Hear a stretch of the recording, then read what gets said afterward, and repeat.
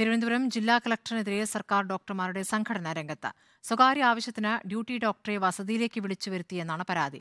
Collector Jeromic George അധികാര ദുർവിനിയോഗം നടത്തിയെന്ന് കാട്ടി പ്രതിഷേധത്തിനൊരുങ്ങിയാണ് കെ. ജി. മോയ് കഴിഞ്ഞ ശനിയാഴ്ചയാണ് സംഭവം നടന്നത്. കുഴിനകം ചികിത്സിക്കുന്നതിനായി ഡോക്ടറെ കലക്ടർ വീട്ടിലേക്ക് വിളിപ്പിച്ചുവെന്നാണ് ആരോപണം. തിരുവനന്തപുരം ജനറൽ ആശുപത്രിയിൽ ഡ്യൂട്ടിയിലുണ്ടായിരുന്ന സർജനെയാണ് കലക്ടർ വിളിച്ചു വരുത്തിയത്.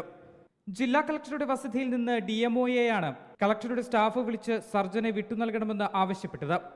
ജനറൽ ആശുപത്രി ഒ പിയിൽ രോഗികളുടെ തിരക്കുള്ളപ്പോഴായിരുന്നു കളക്ടറുടെ നടപടി.